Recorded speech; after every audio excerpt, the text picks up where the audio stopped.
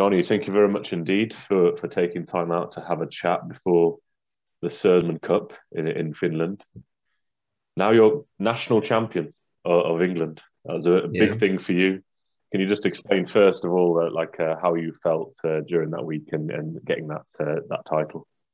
Yeah, it felt really good. Um, obviously, getting my my first national uh, senior title.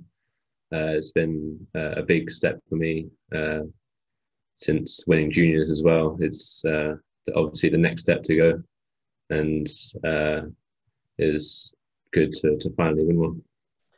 Yeah, you're one of the uh, the emerging talents uh, in England. But did it did, does this title change your mentality that it sort of consolidates that you are um, here in, in the Sudirman Cup? You're the you're the number one men's singles player.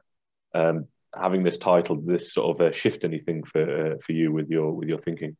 Uh, yeah, I think it's given me a lot of confidence. Uh, that's just sort of proving that I am the person to be here. Obviously, Toby couldn't compete in the mm-hmm. nationals um, but it, in apart from him, then I'm the next best player. So it gives me a lot of confidence coming into to, to the Sudirman Cup.